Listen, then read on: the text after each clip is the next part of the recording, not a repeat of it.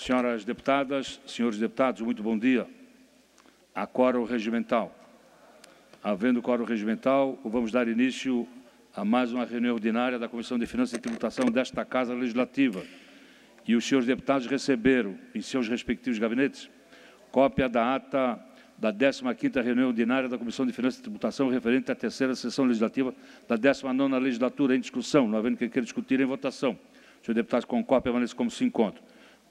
Passamos, então, à leitura dos projetos de lei em poder de Suas Excelências. E vou começar eh, por este deputado, na condição de relator do PL 01 23.0/2009, de autoria do governamental, que dispõe sobre as diretrizes orçamentárias para o exercício financeiro de 2022, estabelece outras providências Registro a presença do deputado Sargento Lima. Seja bem-vindo.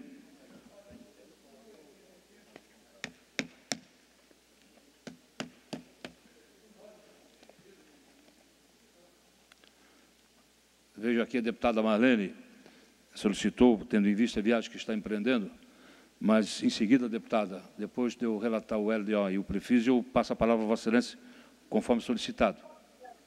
Está ótimo, muito obrigado.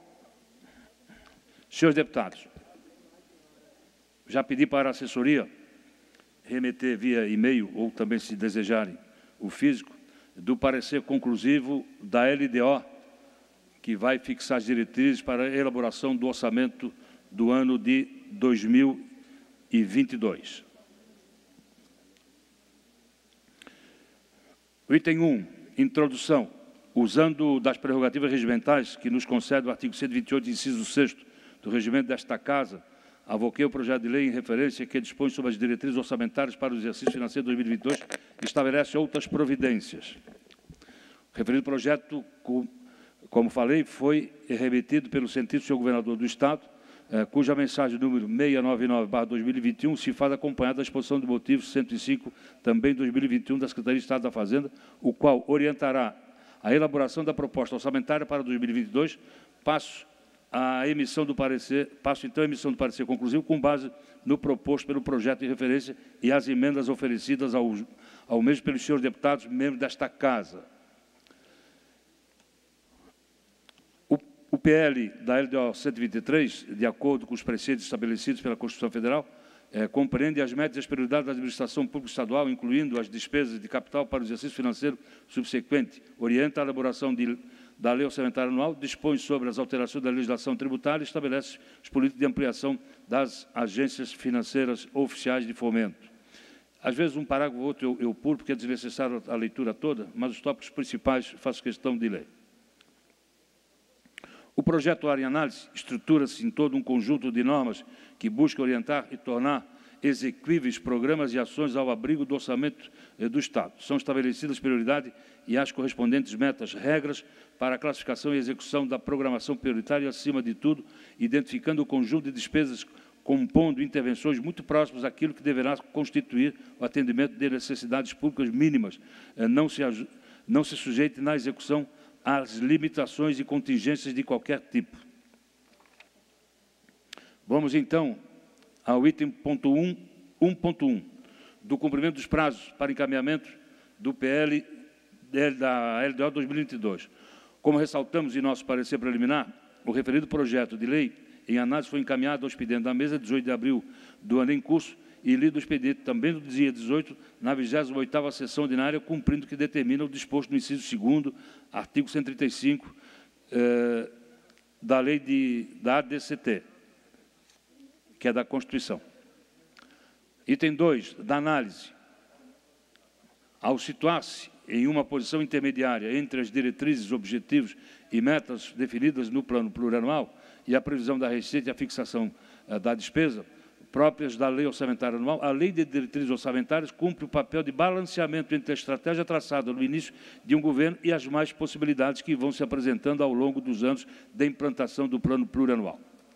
Diante da necessidade de se ajustar a programação prevista no Plano Plurianual ao cenário político, econômico e institucional que se apresenta nos meses que antecedem a elaboração e análise da proposta orçamentária, a LDO tem o poder de antecipar um fato inevitável, que é a necessidade de se fazer escolhas. Por mais que haja preocupação com o equilíbrio fiscal em sua elaboração, as metas estabelecidas no plano plurianual invariavelmente demandam mais recursos do que um orçamento anual pode dispor. Assim, há de se priorizar umas em detrimento de outras. A apreciação do projeto da LDO, exercício 2002 por esse poder, envolve a discussão e o aperfeiçoamento de instrumentos orientando a elaboração da proposta orçamentária e definindo controles para execução do orçamento eh, necessários para garantir a eficácia das diretrizes e metas definidas. Vamos, então, eh, passar direto ao ponto 2.1, das metas e prioridades da administração pública estadual PL da, da LDO. Destacamos no artigo 4 da presente proposta da lei, que versa sobre as prioridades da administração pública estadual para o exercício financeiro de 2022, constando no anexo 1, prioridades da administração pública.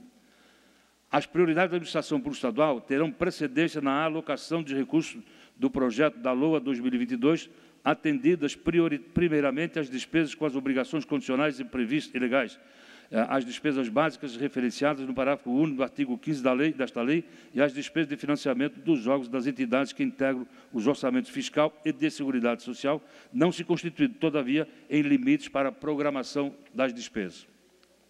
Do item 2.2 do anexo de metas fiscais anuais, é, em cumprimento ao disposto na Lei Complementar 101, é a Lei de Responsabilidade Fiscal, o anexo de metas fiscais anuais do PL eh, LDO 2020, folhas 41 e 42, e da LDO 2022, estabelece a meta de resultado primário do setor público consolidado para o exercício 2022 e indica as metas de 2023 e 2024. A cada exercício, havendo mudanças no cenário macroeconômico interno e externo, as metas são revistas no sentido de manter uma política fiscal é, responsável. Podemos destacar ainda que é compromisso da política fiscal promover a melhoria dos resultados de gestão fiscal, com vista à implantação, a implementar políticas sociais redistributivas e, financiar, e a financiar investimentos em infraestrutura que amplia a capacidade interna de produção pelo setor privado por meio da eliminação de gargalos logísticos. logísticos. A meta da, de superávit primário para o exercício para o período de 2022, conforme demonstra o quadro folhas 42 do PLDO eh, em, em, referência foi estabelecida como objetivo de promover uma gestão equilibrada e transparente das finanças públicas, de forma a assegurar a manutenção da estabilidade econômica e expandir também a capacidade de investimento nos setores produtivos e sociais do Estado. Eh, o cumprimento do programa de ajuste fiscal do Estado e o atendimento às disposições da Lei de Responsabilidade Fiscal. Mais embaixo, da folha 7, Ressaltamos ainda que o governo estadual vem atuando na melhoria da qualidade e a simplificação da tributação, no combate à sonegação, evasão e elisão fiscal, na redução da informalidade, no aprimoramento dos mecanismos de arrecadação e fiscalização, com o objetivo de aumentar o universo de contribuintes e permitir a redução da carga tributária sobre os diversos segmentos da sociedade catarinense. Também tem também procurado aprimorar a eficiência da alocação dos recursos com medidas de, racionalização dos gastos públicos, com melhora nas técnicas de gestão, controle e com, a, e com maior transparência, de forma a ampliar a prestação de serviços públicos eh, de qualidade. A dinâmica da economia e as dificuldades provocadas eh, pela não realização da, da, de reforma tributária profunda e definida têm provocado reflexos também negativos no mercado. A chamada guerra dos portos é um tema uh, um tanto confuso para aqueles que, mesmo indiretamente, fazem parte do binômio comércio versus consumidor. Mais embaixo, no, na folha 8, após muitas discussões entre os secretários estaduais de Fazenda e o governo federal, até que foi publicada a Resolução 72 de 2012, que fixa a alíquota de 4% aplicável nas operações entre Estados, desde que os produtos tenham sido importados e que não venham sofrer nenhum processo de industrialização e, mesmo que sofram, resultem em produto ou bem que possam pelo menos 40% eh, de, possam ter 40% de conteúdo importado, excetuados as exigências mercadorias sem similar no mercado interno. Essa é uma das exigências da medida anti-guerra dos portos.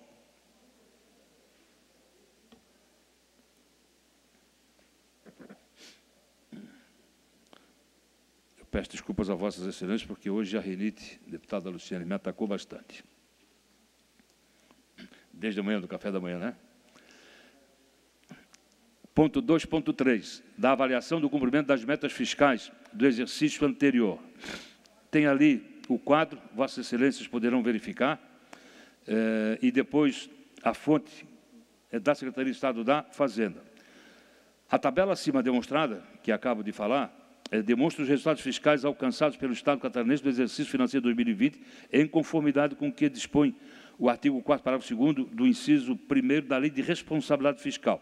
Foi feito em relação às metas estabelecidas na Lei de Diretrizes Orçamentárias para o exercício de 2020 e as resultantes da redução do orçamento de 2020. O resultado primário é a diferença entre as receitas primárias e as despesas primárias. O valor projetado na LDO 2020 de R$ 1 bilhão 675 mil 101 reais.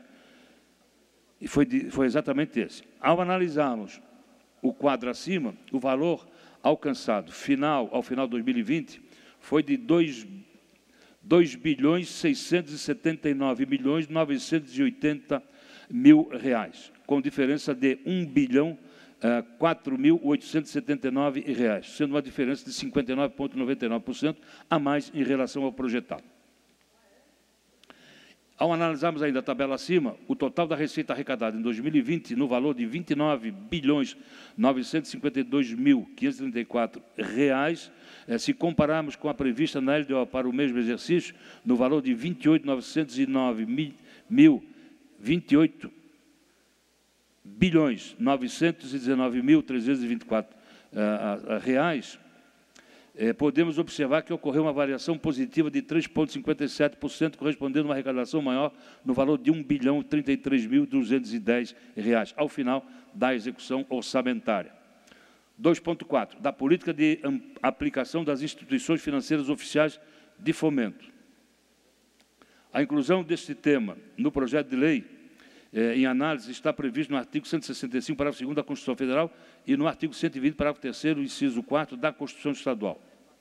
Em nosso Estado, eh, nós temos o BADESC, que é a agência oficial de fomento a quem compete a execução da política estadual de desenvolvimento econômico, fomentando as atividades produtivas e apoiando a geração de infraestrutura urbana e econômica por meio de operações de crédito e de ações definidas em lei, apoiando, através de créditos, os programas estruturais e projetos vinculados aos objetivos do governo do Estado. Passamos, então, para o item 3, que é a folha 11, das respostas das diligências baixadas aos poderes, Assembleia Legislativa, Tribunal de Justiça e aos órgãos constituídos, Ministério Público e Tribunal de Contas. E esta relatoria eh, colocou em diligência o projeto de lei de análise aos poderes legislativo e judiciário e ao Ministério Público, Tribunal de Contas do Estado de Santa Catarina, aos quais reportamos na íntegra as suas respostas para melhor entendimento e compreensão do, das senhoras deputadas e senhores deputados.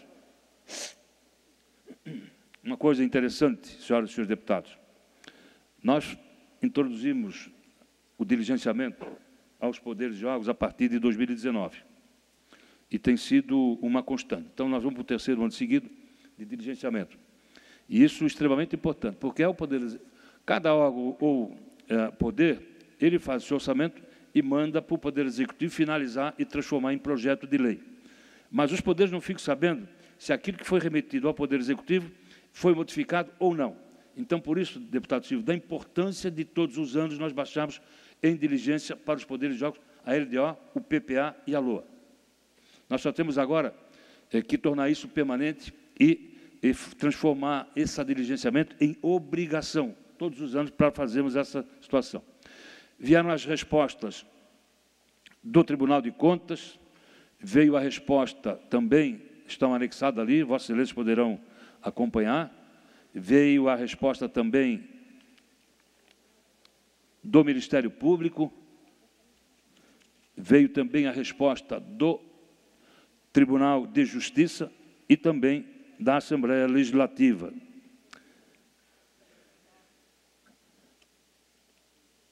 O Tribunal de Contas, o Ministério Público e o Tribunal de Justiça solicitaram. O Tribunal de Justiça solicitou duas modificações. O Tribunal de, de, o Ministério Público uma, o Tribunal de Contas outra modificação. Essa modificação sugerida pelos demais órgãos é igual à do Tribunal de Justiça, qual seja, na proposta da LDO, o Poder Executivo diz que todos os poderes ou órgãos têm como teto de gasto o de 2020. E aí vão ficar engessados. Qual é a minha proposta? Nós fizemos uma emenda dando liberdade aos poderes, legislativo, judiciário, Ministério Público e, e, Tribunal de Justiça, e, evidentemente, deixando o limite fixado pelo Poder Executivo em 2020. Então, cada poder é independente entre si. Não pode o Poder Executivo interferir no Poder Judiciário, nem no Ministério Público, nem na Assembleia Legislativa, nem no Tribunal de Contas. Então, nós fizemos essa emenda é, para acatar a sugestão é, dos poderes. Quanto à sugestão é, do Tribunal de Justiça, é, referente à emenda constitucional 109, que é o da devolução da sobra anual, dia 31 de dezembro, para os poderes, nós vamos é, examinar com mais profundidade com os nossos técnicos da Casa, e aí, se tomarmos a decisão, eu trago ao conhecimento dos senhores deputados, é, aí com possibilidade de incluir na LOA. Então, a sugestão do Tribunal de Justiça quanto à emenda constitucional 109, é, deixo de apreciar para poder, com profundidade, é, acolher ou não, mas com o conhecimento dos senhores deputados, membros da Comissão de Finanças. Senhores deputados, o item 4, das emendas apresentadas ao projeto de lei de diretrizes orçamentárias. É, foi feito um, um, um, cronograma de tramitação, é, dando prazo, abrindo prazo para todos os senhores deputados é, apresentarem ou não emendas. Então, o item 5 trata das emendas. Então, das emendas. Decorrido o prazo fixado no parecer preliminar para apresentação de emendas, tiveram as senhoras deputadas e senhores deputados a oportunidade para apresentarem suas proporções de emendas, sempre visando atender as expectativas da sociedade catarinense. Foram apresentadas pelos senhores deputados e senhores deputados ao PL 123.0/2021, conforme o sistema do orçamento estadual desta Casa e protocolado da Comissão de Finanças e Tributação, um total de 62 emendas ao referido projeto de lei, assim distribuídos, 44 emendas ao texto apresentadas pelas senhoras deputadas e senhores deputados, que está no anexo 1 e 18, e 18 emendas apresentadas por esta relatoria, que está no anexo 2, sendo que uma emenda das 60 ah, foi encerrada a tramitação por este relator, cabendo ressaltar que não foram apresentadas emendas ao anexo de metas e prioridades da administração pública para 2022. Quero fazer um comentário quanto às emendas apresentadas pelos senhores deputados.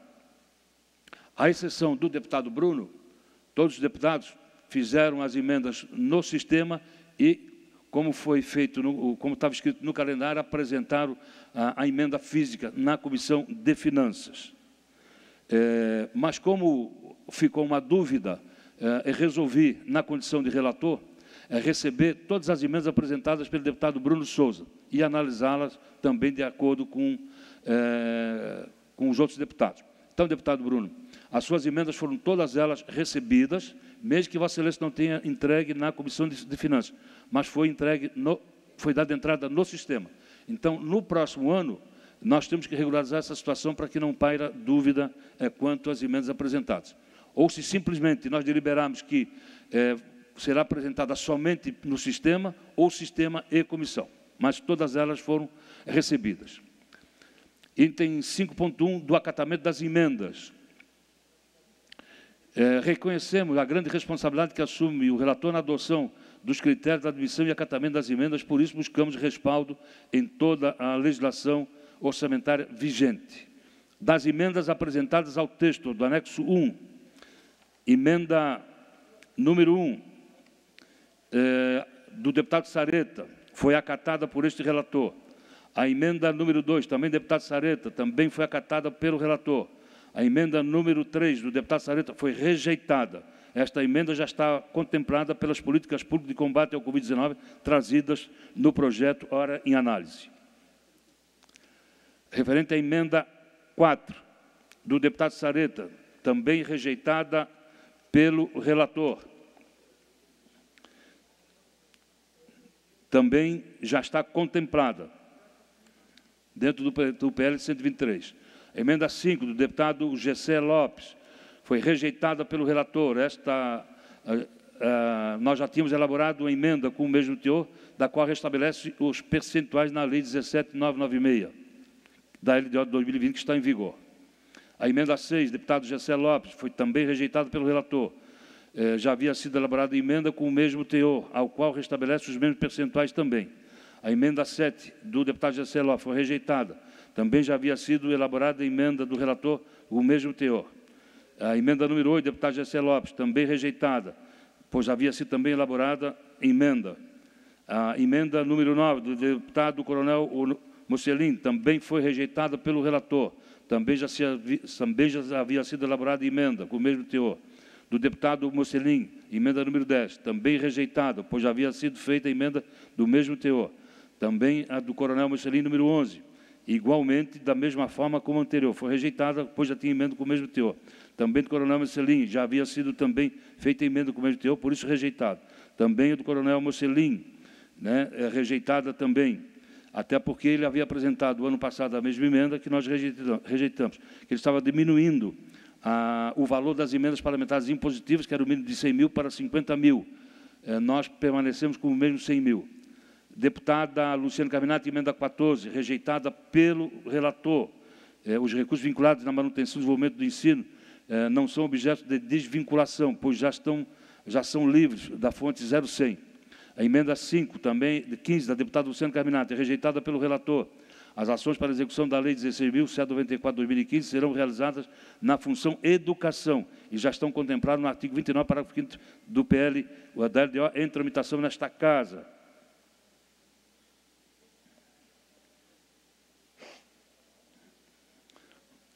A emenda 16 da deputada Luciana Caminati, também rejeitada. O Estado já tem a obrigação de destinar para a manutenção do desenvolvimento do sistema de ensino o mínimo de 25% das receitas provenientes de impostos de transferência da União.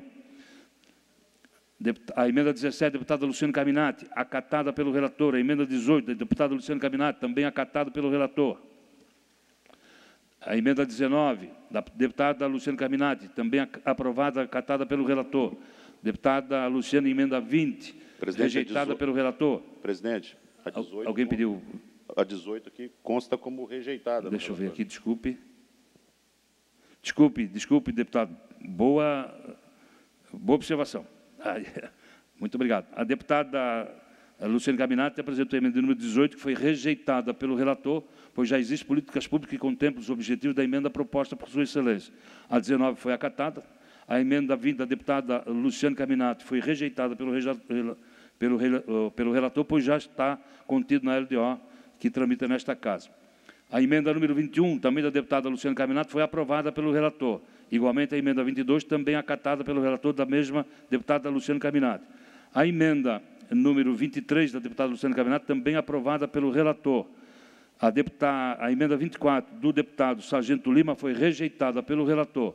Esta emenda modifica os percentuais do duodécimo repassando, repassado aos poderes de algo constituído sem um amplo debate envolvendo os mesmos, de modo a observarmos os princípios estabelecidos eh, desta Carta Magna. Então, foi rejeitada a emenda eh, da diminuição dos percentuais dos poderes. A emenda 25, do deputado Sargento Lima, também foi rejeitada. Esta emenda modifica os percentuais do décimo também dos poderes constituídos sem um amplo debate.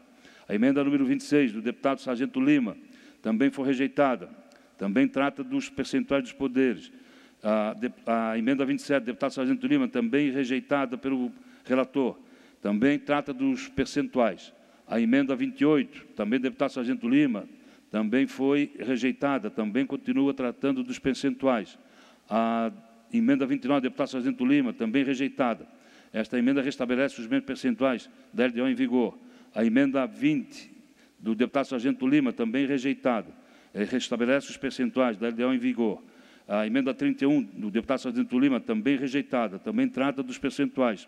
A emenda 32 do deputado Sargento Lima, também rejeitada pelo relator, pois continua tratando dos percentuais e restabelece os percentuais.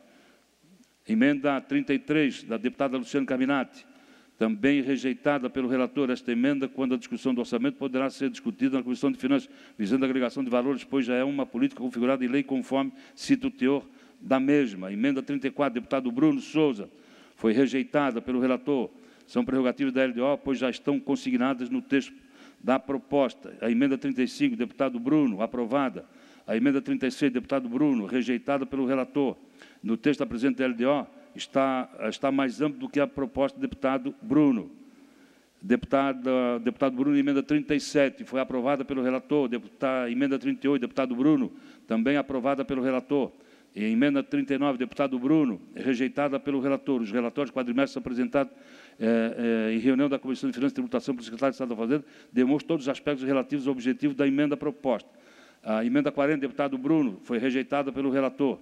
A emenda requer antecipação de informações que ainda não estão sendo objeto de análise de montagem do Orçamento Geral do Estado. No entanto, neste momento, todos os preceitos da Lei 4.320, 17 de março de 2064, bem como a Lei de Responsabilidade Fiscal, estão sendo aplicados na elaboração da peça orçamentária. Então, cumpre-se a Lei 4320 e 101. Emenda do deputado Bruno Souza, 41, rejeitada pelo relator. As emendas parlamentares, com possíveis correções de ordem sanável pelos órgãos competentes, tanto do Poder Executivo quanto do Poder Legislativo, serão objeto de projeto de lei elaborado por esta Casa, conforme a LDO, que é a Lei de 17996 do ano passado. A emenda 42, deputado Bruno, foi aprovada pelo relator. A emenda 43, deputado Bruno, foi rejeitada pelo relator. A abertura de crédito especial já se encontra, ah, já encontra sua base no arcabouço das leis vigentes. Emenda 44, deputado Bruno, rejeitada pelo relator. Esta emenda modifica os percentuais do Odessa repassado aos poderes de órgãos, sem um amplo debate. Emenda 45. Emenda. Sim. Emenda 45. Emenda do relator. Aprovada. Trata das despesas básicas conforme a definição é, dada pelo parágrafo 1 do artigo 14 do PL especial, descrito no inciso é, inciso 9 e 10, estão eh, classificados de forma genérica, interferindo indevidamente no processo de emendas parlamentares. O que significa isso? É, se eventualmente na LOA os deputados fizerem, é, proporem emendas, é, aquilo que consta do inciso 1 ao inciso 8 são situações que não se pode mexer nos recursos destinados naqueles incisos. Mas o inciso 9 e o inciso 10 trata de contratos de uma forma genérica. Então, a Assembleia Legislativa, o deputado não sabe que contratos são esses. Então, desse vai poder continuar sendo dado o direito ao deputado de mexer eh, nesses contratos, nesses recursos. Em outras situações, não, que é dinheiro da educação, dinheiro da saúde, enfim. Então, eles vão ficar preservados. Porque o Estado tinha colocado que, inclusive, no item 9 e 10 não se podia mexer. Então, naquilo que é genérico, a Assembleia vai ter o poder de fazer as mudanças. Emenda 46 do relator, também aprovada. A proposta acrescenta no projeto de lei da diretriz orçamentária para o exercício de 2022 é o presente artigo cuja intenção é estabelecer regras de disciplinar o correto uso dos recursos transferidos às prefeituras, cujo descumprimento, conforme previsto no seu parágrafo 2 impede o município de receber outros valores eh, eh, referentes às novas emendas parlamentares impositivas. Caso específico, hoje ainda pela manhã, o deputado Nilson Berlanda citou mais um caso. Os deputados fazem a indicação das emendas parlamentares ah, ah, impositivas e o prefeito, no ano subsequente, dá a destinação do recurso para outra função, outra obra, senão aquela apresentada pelo deputado, conforme o de acordo. Então, a emenda eh, é no sentido de proibir, ou seja, se o prefeito não aplicar naquilo que o deputado inscreveu no orçamento, ele fica proibido de receber novas emendas e vai ter que fazer a devolução dos recursos aplicados indevidamente. E também está em curso nesta casa a PEC, a proposta de emenda à Constituição de número 002, que vai transformar os, os convênios de uma forma geral em transferência a, a, especial num valor de até 5 milhões de reais. A emenda 47 do relator também aprovada é, recompor a norma legal aprovada na LDO de 2021, tendo em vista que o presente projeto é, não contempla a referida norma. Também a emenda 48 do relator, é, aprovada. É, estas, estes ajustes de percentuais se fazem necessários em razão da necessidade de que as emendas parlamentares impositivas na função de saúde é, pode, possam ser contempladas com 10% da receita corrente líquida, é, de acordo com o artigo 131, ou seja, remitir, repetir os mesmos percentuais do ano passado. A emenda 49, também do relator, foi aprovada. Ah, Trata-se dos ajustes de percentuais faz necessários em razão da necessidade de que as emendas parlamentares impositivas em função da educação possam ser contempladas em 20%, mesmo percentual do ano de 2020. A emenda 50, também do relator, aprovada, também ajustes percentuais da necessidade de 70% de infraestrutura de uma forma geral. Emenda 51, também aprovada pelo relator. Emenda 52, também aprovada do relator, que trata eh, da a, a, a transferência especial fixando o valor de máximo de até 5 milhões de reais. Também a emenda 53, aprovada pelo relator. A emenda acrescenta o projeto de lei orçamentário para o exercício o presente artigo, cuja intenção é estabelecer regras e disciplinar o correto uso dos recursos transferidos às prefeituras, cujo descumprimento, conforme previsto em seu parágrafo, impede o município de receber eh, outros valores referentes às novas emendas parlamentares impositivas. Obrigatoriedade da apresentação do plano de trabalho. Deputar a emenda 54 do relator aprovada eh, faz esses ajustes de percentuais faz necessário em razão da necessidade que as emendas parlamentares impositivas atinjam um maior número de atuação governamental. Também a emenda 55 do relator aprovada, esses ajustes percentuais faz necessário em razão da necessidade de que as emendas parlamentares impositivas atinjam também o maior número de percentual. A emenda 56 do relator, também aprovada, a emenda modifica, modificativa que eu apresentei, tem o objetivo de conferir precisão e aperfeiçoar o texto legal, só de redação. Emenda 57 do relator, também aprovada.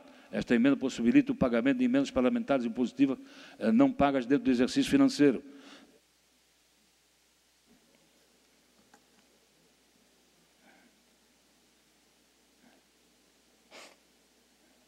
Ou seja, se eventualmente transcorreu o exercício financeiro, desculpe, exercício financeiro e houver um problema técnico na emenda ou uma impossibilidade de pagar naquele exercício, nós estamos autorizando a pagar no exercício subsequentes, ou seja, no ano seguinte. Emenda 58, também do relator, aprovada, o artigo 36 mencionado, para o segundo do artigo 36, foi, estava incorreto. É, emenda de redação. Também 59 do relator, aprovada, limitar a abrangência no âmbito do Poder Executivo, que é aquela que eu me fiz referência antes, do limite de 60, a gasto de, de 2020. Emenda 60, também aprovada do, do relator, que foi é, a, encerrada a tramitação de uma emenda de um deputado. Emenda 61, também do relator, aprovada. A emenda de...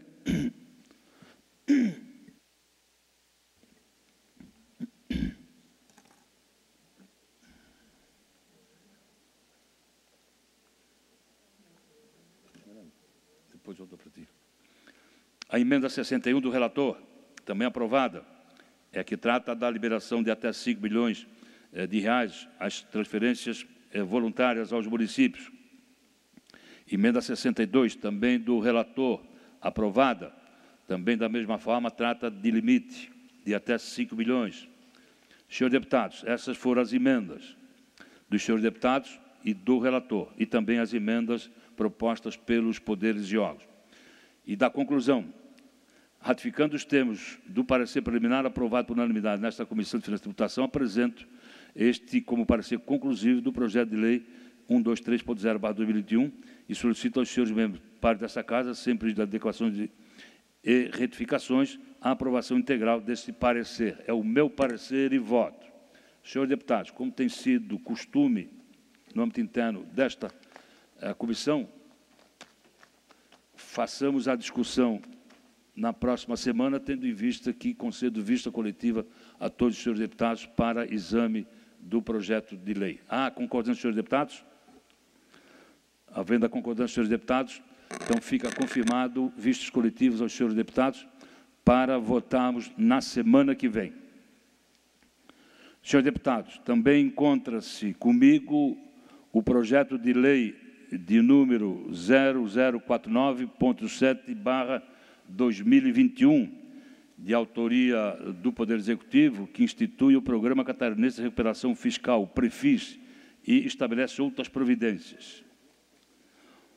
O presente projeto de lei deveria ter tramitação exclusiva na Comissão de Finanças, mas como o secretário Paulo Eli introduziu algumas outras situações, obrigatoriamente ele teve que tramitar na Comissão de Constituição e Justiça.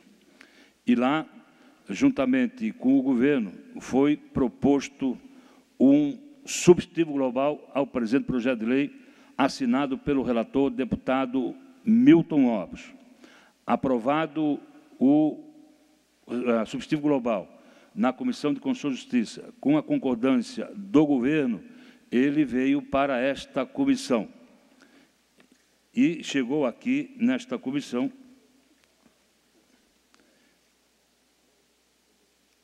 ainda no início, no final do mês de junho, no, de maio, início do mês de junho.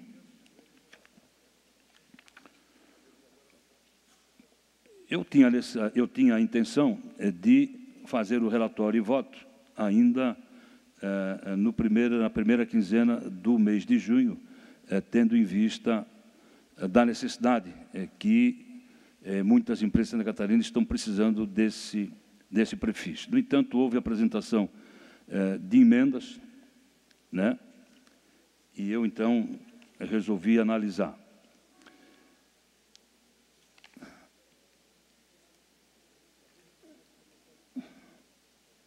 principalmente emendas do deputado Márcio Machado e Bruno Souza.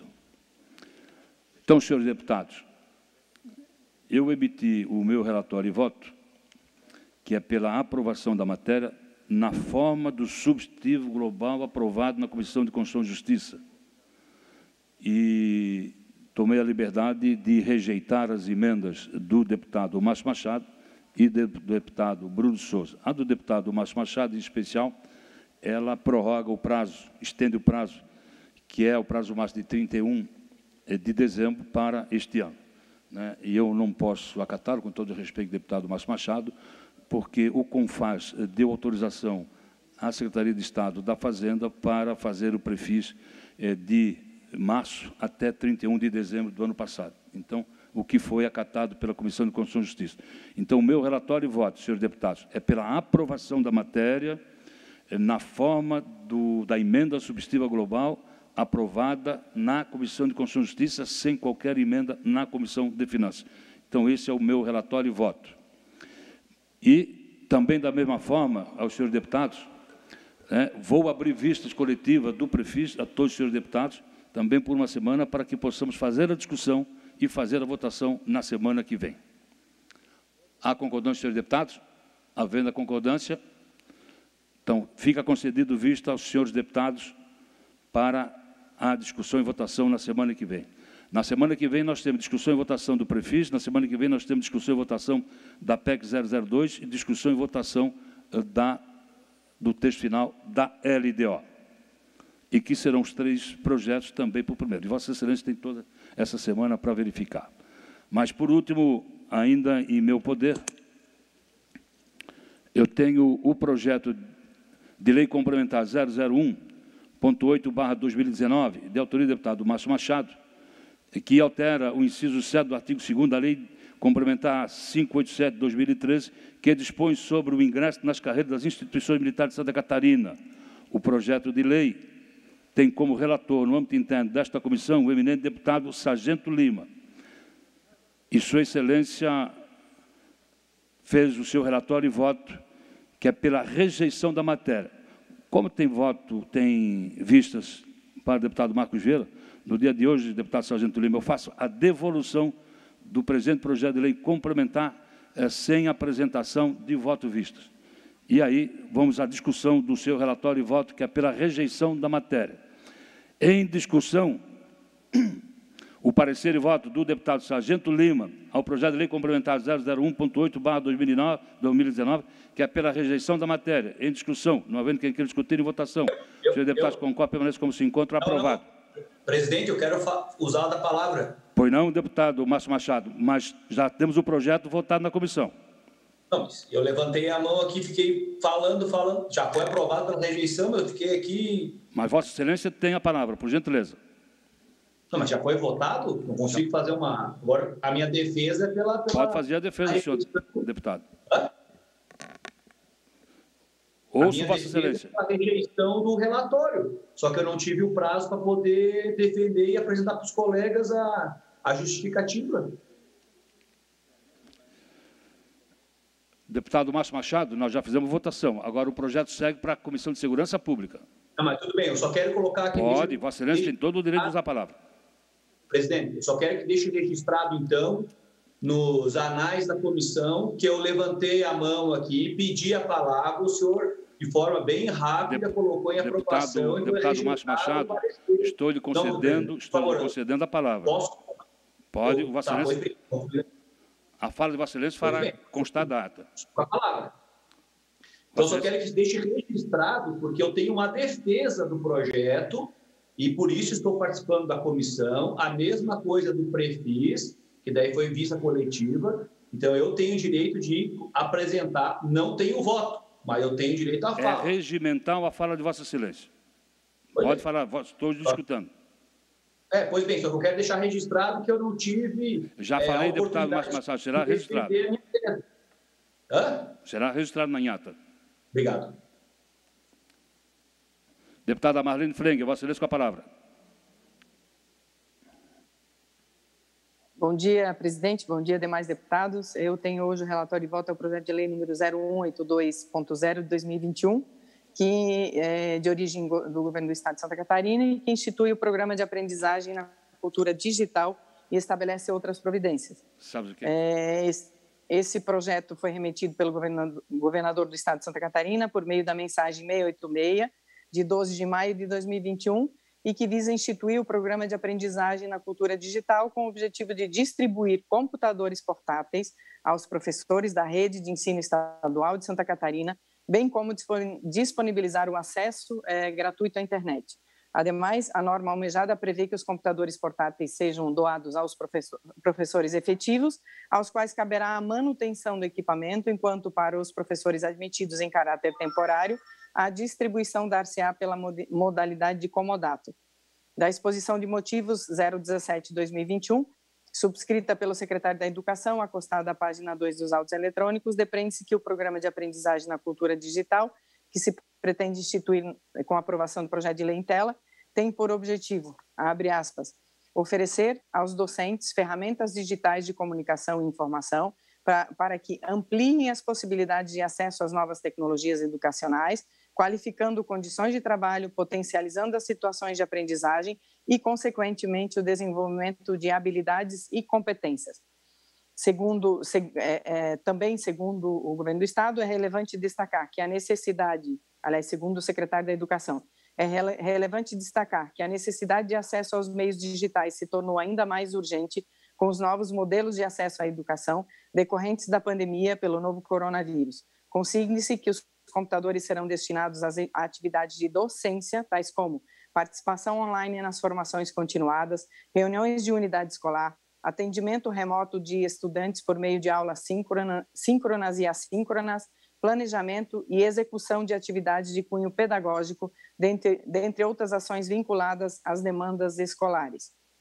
Na reunião da comissão, fecha aspas, na reunião da Comissão de Constituição e Justiça, ocorrida no dia 15 de junho de 2021, a proposição foi aprovada por unanimidade, sendo posteriormente remetida para esse colegiado no qual fui designada relatora, é, e o meu é, voto, é, segundo o que nos compete aqui na Comissão de Finanças, é, o exame é o, é o exame da proposição enquanto a sua adequação financeira e orçamentária sob a ótica das finanças públicas do Estado, em cumprimento do disposto nos artigos 73 é, caput, inciso 2 e 144, inciso 2 do Realesc.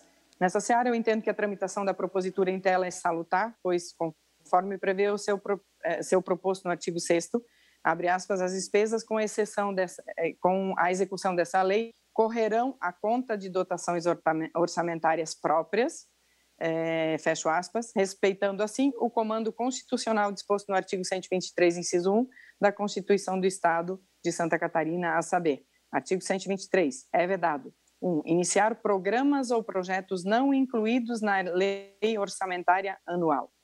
Ante o exposto, com fundamento nos regimentais artigo 173, inciso 2, 144, inciso 2 e 145, caput, parte final, voto no âmbito dessa Comissão de Finanças e Tributação pela admissibilidade do prosseguimento regimental é, da tramitação do projeto de lei 0182.0/2021, por entendê-lo compatível e adequado com as normas orçamentárias é, leia-se PPA, LDO e LOA. Esse é o meu voto, senhor presidente. Senhoras deputadas, senhores presidente. deputados, eu passo a presidência dos trabalhos no dia de hoje, a deputada Luciana Caminati. Por gentileza, deputado.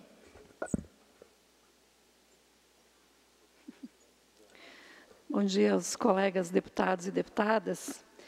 Seguindo, então, conforme a relatoria do parecer da nobre colega deputada Marlene Fengler, acerca do PL 182, de autoria do Governo do Estado, eu abro a discussão sobre a matéria.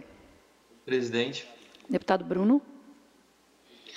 É, eu não, eu não, eu vou, eu vou pedir vista desse projeto, porque eu tenho muita preocupação, porque não, não, na minha opinião está sendo relativizado aqui a lei de responsabilidade fiscal. Nós não temos, é, é muito, muito, muito complicado nós encaixarmos essa matéria nas relativizações é, admitidas pela Lei Complementar 173. Então, eu peço vistas porque me parece aqui que o governo mandou uma proposta faltando um pouco de habilidade técnica aqui para poder fazer jus à nossa lei de responsabilidade fiscal. Ainda aberto para discussão, voto vista do deputado Bruno. Eu quero apenas, também na condição é, de membro desta comissão, fazer o registro que nós apresentamos três projetos de lei com conteúdos muito semelhantes em agosto do ano passado. E essa matéria é de fevereiro desse ano, é isso, né, deputada? É, deixa eu só conferir aqui de maio deste ano, maio deste ano. Só quero fazer o registro porque eu vou fazer a discussão na comissão de mérito, mas me causa muita estranheza que conteúdos tão relevantes como esse, que tenham matérias já de autorias de deputados, como é o meu caso, nem sequer somos citados quando o governo do Estado apresenta matéria de tamanha relevância. Acho que se faz justiça com os parlamentares que têm iniciativas em diferentes matérias, e de lá para cá eu nem sequer recebi uma ligação para dizer nós vamos readequar o seu projeto de lei. E um dos três projetos de lei que versam sobre matéria muito semelhante, inclusive estão com é, vista do líder do governo na CCJ. Né? Só quero fazer esse registro porque eu acho que ninguém, é, ninguém perde quando todos ganham. Essa é a minha tese. E seria muito justo reconhecer que a deputada Luciane, no ano passado, apresentou três projetos de lei. Então, eu quero só fazer esse registro aqui, deputada Marlene, não tem nada a ver com Vossa Excelência, mas a gente precisa ser muito justo naquilo que a gente também faz, né? independente de quem seja o colega, deputado ou deputada. Então, eu quero só deixar registrado, e nessa condição eu também me somo ao deputado Bruno, vou pedir vista e quero também me manifestar na próxima comissão. Vossa Excelência, deputado Sargento Lima. Bem, bem lembrado pela senhora mesmo, é, presidente. Isso aí a gente está vendo que está sendo feito um rescaldo de alguns projetos aí do, né, sendo garimpado alguns projetos do ano passado, né? Esse eu tenho, eu tenho acompanhado diligentemente. E esse é um dos projetos que, da qual me lembro bem que a senhora apresentou em meados do ano passado. Né? É, obviamente que é, não, não, existe essa vaidade, né? o importante é que a coisa seja feita. Porém, citar o deputado, isso é muitíssimo importante. Deputado, presidente,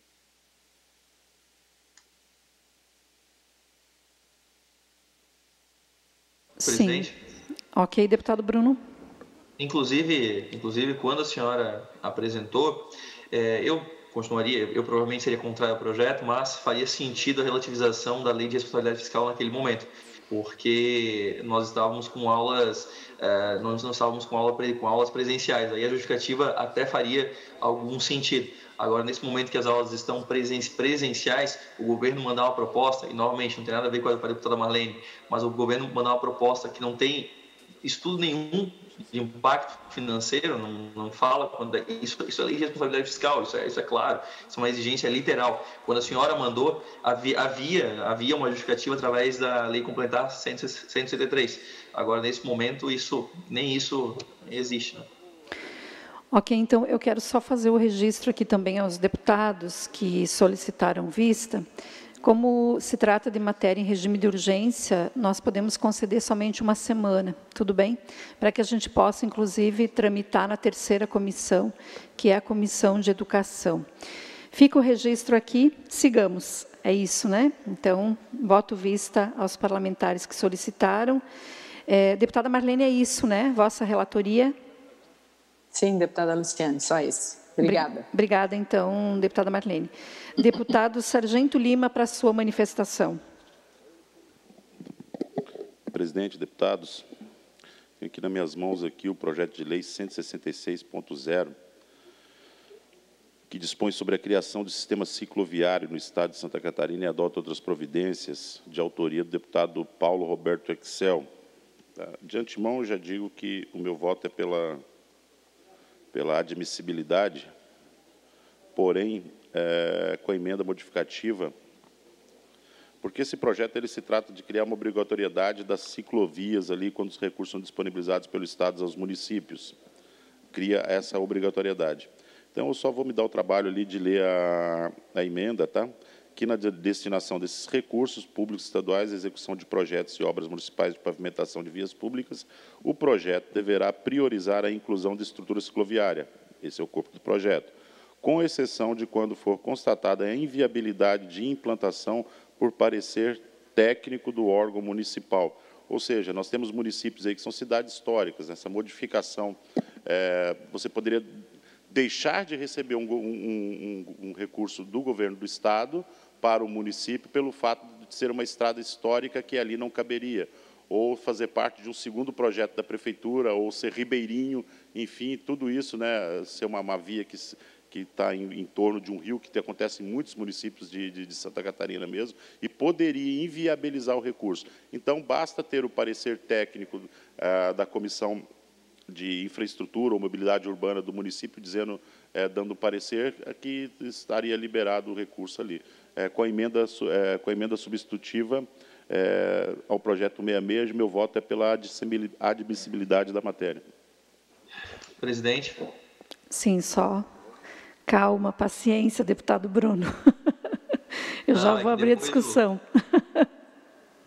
Tudo bem? A gente está acostumado com o deputado Marcos, que às vezes se a gente não fala rápido, ele, ele passa. Então é importante que a gente, a gente já se pronuncie, é o hábito. Vamos. Mas... Tudo bem? Eu não sou o deputado Marcos, eu sou a deputada Luciane. Tá bom? Sim. Então, projeto de lei 166 de 2020, de autoria do deputado Paulo Essel, aberto para a discussão. Deputado Bruno.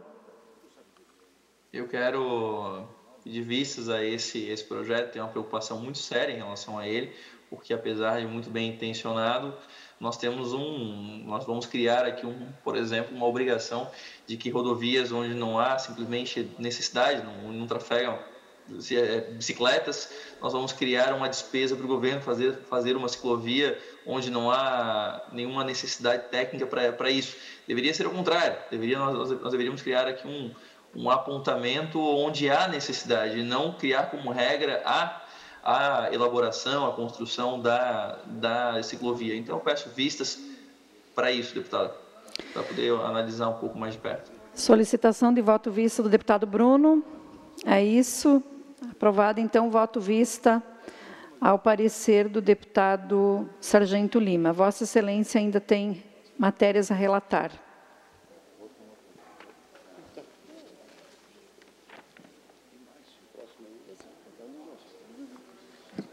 Também continua comigo aqui o projeto 160.5/2021, que institui o Código Estadual de Proteção Animal para vedar a divulgação de mídias sociais para fins de entretenimento, imagens e áudios que contenham cenas ou atos de agressão, abuso, crueldade, abandono e ou castigo de animais, bem como alterar os valores das infrações. Na forma regimental, fui designado para relatar o presente projeto, para vedar a divulgação das mídias sociais para fins de entretenimento, que já foi dito, né, imagens, áudios contêm cenas e atos de agressão, abuso, crueldade, abandono e ou castigo, bem como alterar os valores referentes às multas. A matéria foi lida no expediente da sessão plenária, dia 6 de maio de 2020, e posteriormente distribuída à Comissão de Constituição e Justiça, sendo aprovada por unanimidade com emenda supressiva modificativa no dia 6 de junho do ano corrente. O voto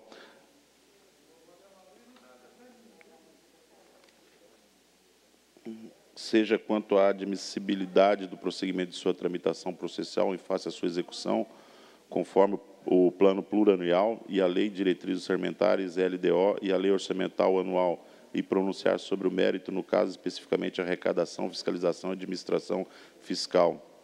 Por isso, ao examinar o projeto de lei em apreço estritamente quanto aos aspectos atribuídos ao colegiado, acima mencionados, constatei que as disposições por ele vinculadas são compatíveis com PPA e LDO, bem como adequadas à LOA, o que conduz esta relatoria a propugnar pela sua admissão.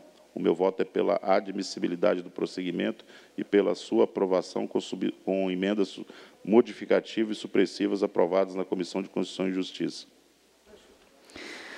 É, projeto de lei, então, de autoria. Perdão. Projeto de lei de autoria do deputado Márcio Machado, PL 160. Vossa Excelência, deputado é, Sargento Lima, apresenta o seu relatório pela aprovação com as emendas modificativa e supressiva apresentada na CCJ pela deputada Paulinha.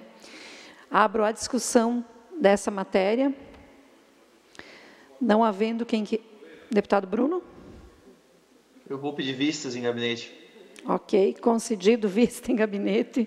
Deputado Márcio trata de conversar. Ok. Deputado Sargento, continua.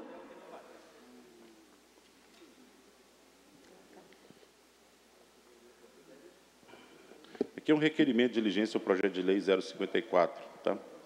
É, na forma regimental, fui designado para relatar o projeto de lei 54.4/2019, que dispõe sobre a divulgação de notícias e informa, informações sabidamente falsas no âmbito desta, do Estado de Santa Catarina, apensados aos PLs 433, que estabelece penalidades administrativas, aos 117, que estabelece administrativas a quem divulgar informação falsa e adota outra providência, e também o PL é, 23.8/2021, que pretende estabelecer multa a quem dolosamente divulgar meio, por meio eletrônico similar notícia falsa sobre pandemias, endemias e epidemias.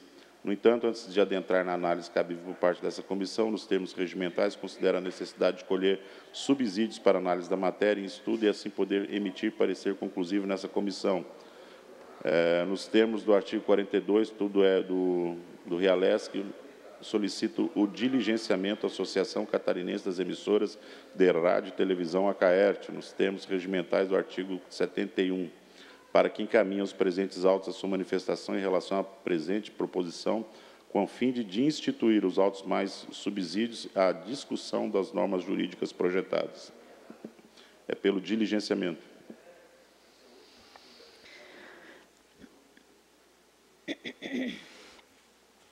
PL 0054, de autoria do deputado Jair Mioto, dispõe sobre a divulgação de notícias e informações sabidamente falsas.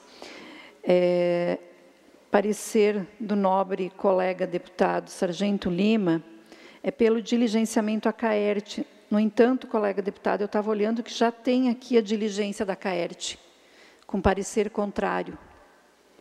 Talvez eu sugiro que Vossa Excelência retire para fazer análise. Pode ser? Na verdade, entrar em contato novamente para mais uma análise, né? Então eu vou ver o que, que dado novo que eles têm ali para tudo pra bem, apresentar. Tudo bem, então coloco em discussão parecer do colega deputado Sargento Lima, diligenciamento à CAERT. Ok, então diligenciado essa matéria. É isso, nobre colega? Ok, então, eu vou passar agora ao deputado Silvio para a sua relatoria.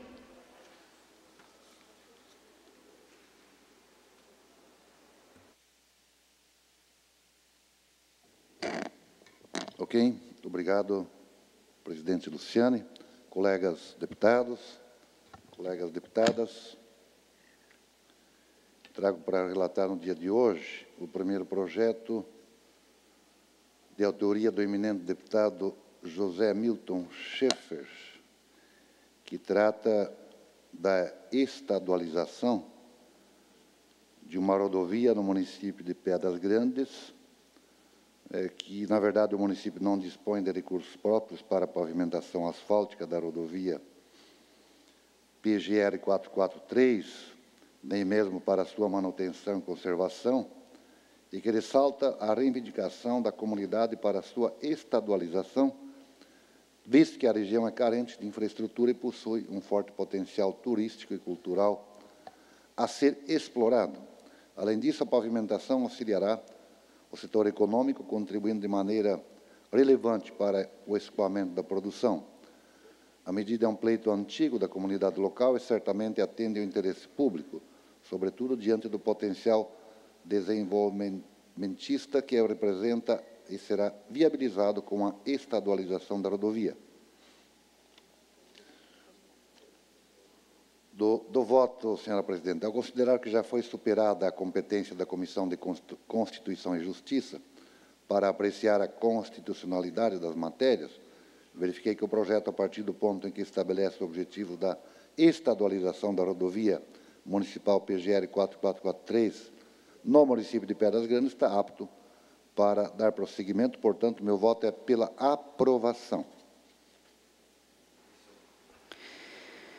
É, PL 336-2020, de autoria do deputado José Milton Schaefer, que dispõe sobre a estadualização da rodovia PGR 443.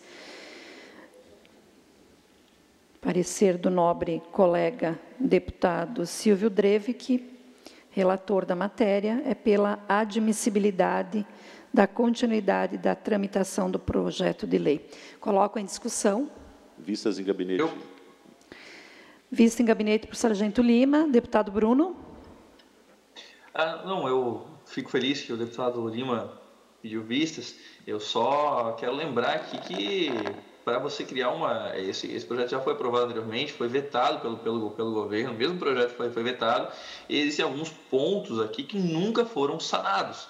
Primeiro que a estadualização de qualquer rodovia significa que ela precisa estar no plano rodoviário estadual. Não está.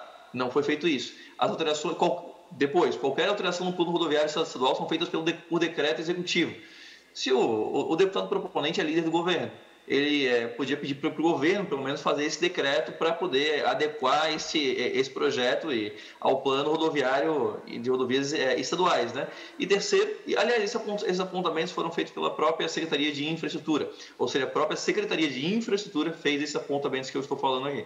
A via correta também para fazer essa municipalização seria a indicação ao governador do estado solicitando a inclusão da rodovia em questão junto ao plano rodoviário estadual como rodovia, é, como rodovia no plano rodoviário estadual como rodovia planejada, a fim de que se possa receber do órgão competente do estado é, estudos e planos visando a implantação da infraestrutura asfáltica, como diversos parlamentares fazem mediante indicação que é assim que é feito geralmente quando você quer estadualizar uma rodovia, você faz a indicação ao, ao, governo estadual e o governo estadual faz esse decreto executivo. Então, acho que poderia ter sido feito de outra forma, mas que bom que o Sargento Lima pediu vistas, porque ele vai poder analisar isso tudo muito mais de perto.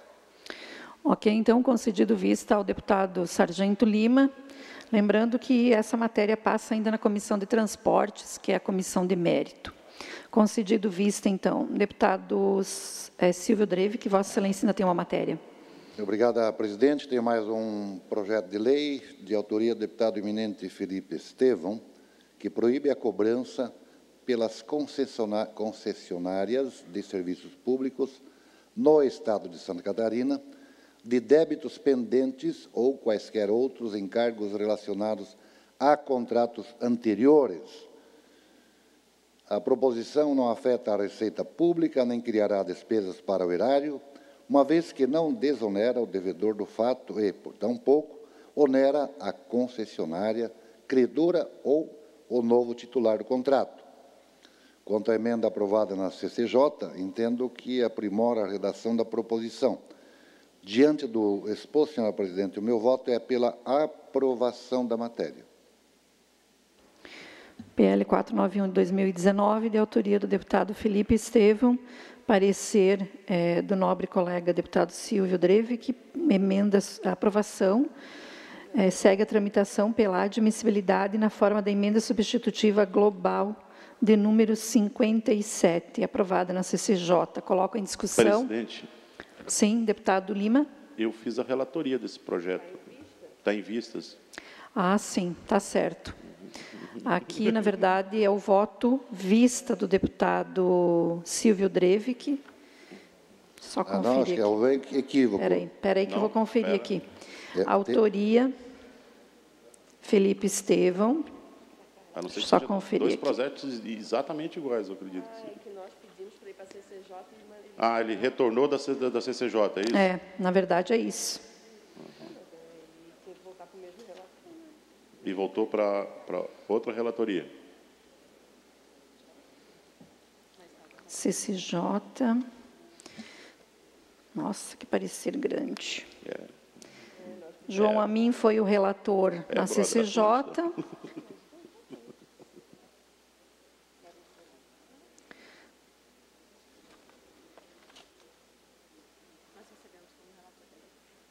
É, aqui está como relator. Não aparece voto vista aqui, designação de voto vista. É, eu vou fazer esse encaminhamento. A assessoria vai dar uma verificada e depois a gente analisa a matéria. Que tá eu bom? me recordo, acho que foi um daqueles que a gente pediu que retornasse à Comissão de Constituição e Justiça. É, nós vamos verificar melhor a tramitação e depois. E não, não, não consta no processo designação de voto vista. Ok, então, deputado Jair Comper, Vossa Excelência tem matérias a relatar? Senhora presidente. Tem uma. Tenho sim, aham.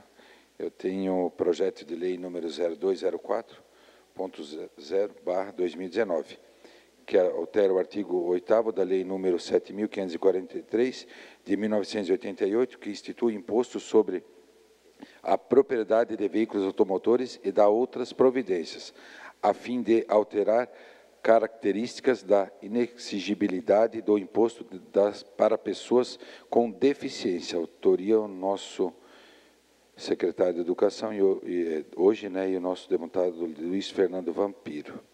Então, o relatório trata-se do projeto de lei número 0204.0/2019, que institui imposto sobre a propriedade de veículos automotores, o nosso IPVA, né, com o fim de alterar característica da inexigibilidade do imposto para pessoas com deficiência.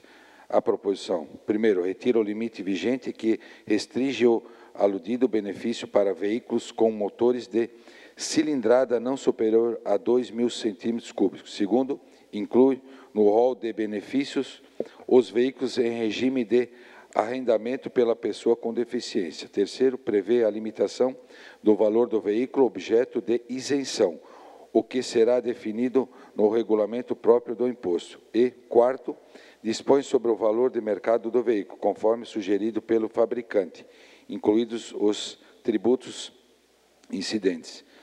A proposição exame foi lida no expediente dia 2 de julho de 2019 e encaminhada para a Comissão de Constituição e Justiça, na qual teve a sua admissibilidade aprovada, com a emenda modificativa do relator na reunião colegiada de 27 de agosto de 2019. A emenda modificativa, página 8, objetiva aprimorar a redação do projeto de lei, bem como dispor sobre a referência do valor de mercado de veículos usados. Então, vamos ao voto. Observo que a proposição visa alterar características da isenção do IPVA para as pessoas com deficiência, notadamente retirando a limitação de cilindradas do motor, incluindo na norma a limitação pelo valor de mercado do veículo, que será definido no regulamento próprio do imposto. Entendo que a alteração proposta promoverá maior benefício social, em convergência com os princípios da capacidade contributiva e isonom- isonômia tributárias, uma vez que o valor de mercado do veículo representa mais fielmente a situação econômica do contribuinte do que o volume dos cilindros de um, de um motor a combustão. A emenda modificativa de página 8, de autoria do deputado Romildo Titon, entendo que aprimora a redação da proposição e, por conseguinte, a acolho em meu voto. Ante o exposto, voto no âmbito desta Comissão de Finanças e Tributação pela admissibilidade do prosseguimento da regimental tramitação do projeto de lei número 0204.0/2019 com a emenda modificativa de página 8 por entendê-lo compatível e adequado com as normas orçamentárias PPA, LDO e LOA.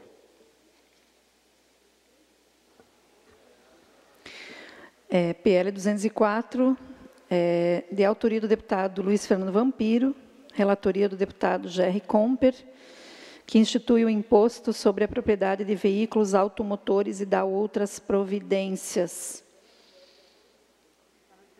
Não entregou, né? Só precisa o processo.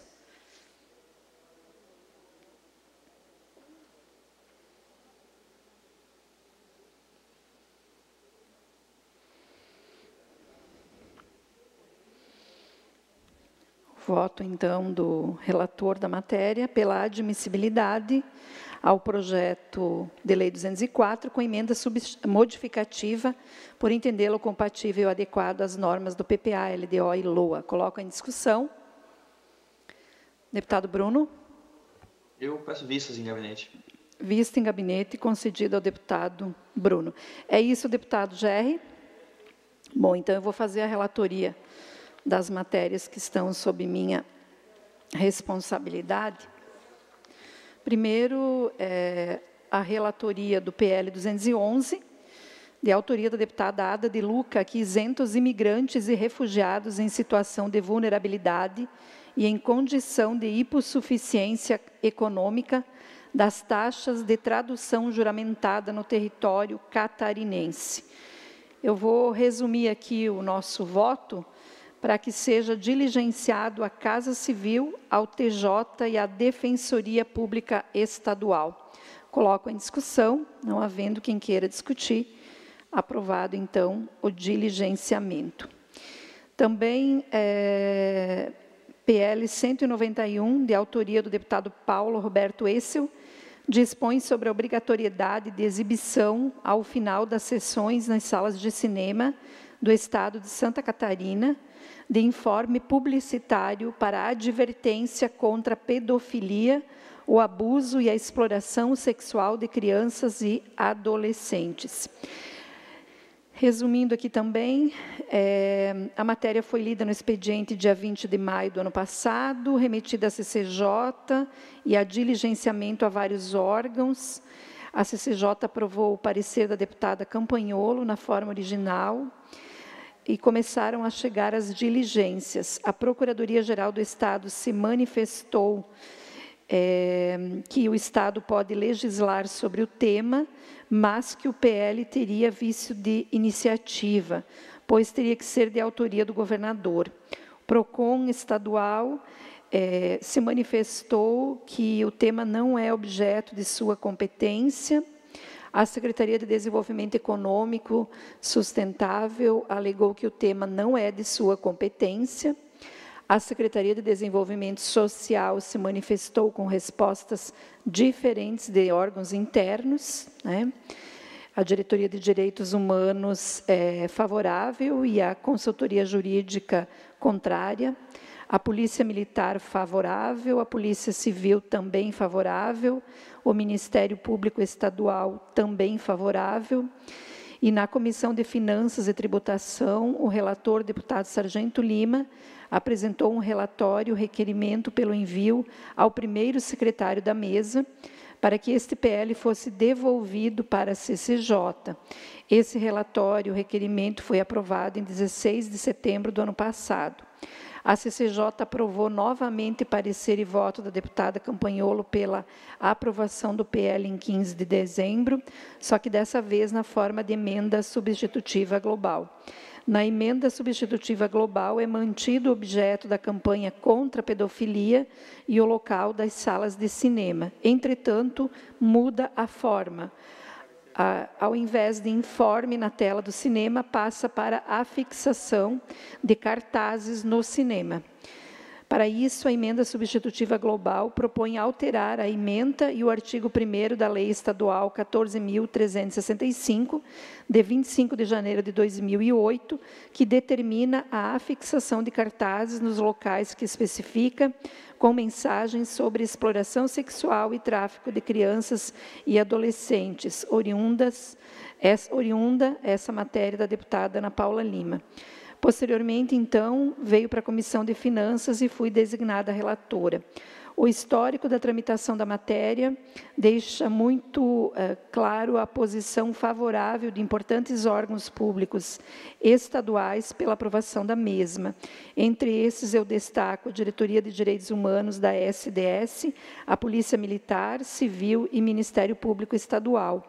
Desta forma, o meu parecer é pela aprovação da matéria na forma da emenda substitutiva global já aprovada na CCJ e devendo seguir os seus trâmites regimentais. Coloco em discussão.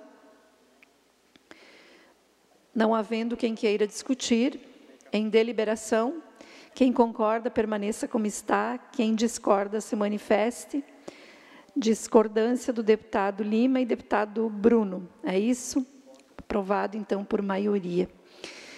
Bem, é, tenho ainda em minhas mãos projeto de lei 152.5 de 2021, de autoria do colega deputado Bruno Souza, que acrescenta o parágrafo 4 ao artigo 40 da Lei 10.297, de 1996, a fim de prever as modalidades possíveis de restituição do excedente nas operações de substituição tributária.